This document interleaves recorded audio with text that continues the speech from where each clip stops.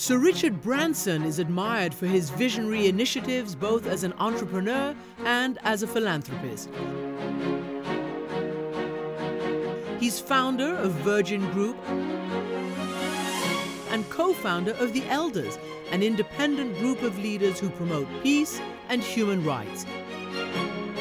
He's demonstrated an unstinting commitment to peace building through his groundbreaking philanthropy and advocacy.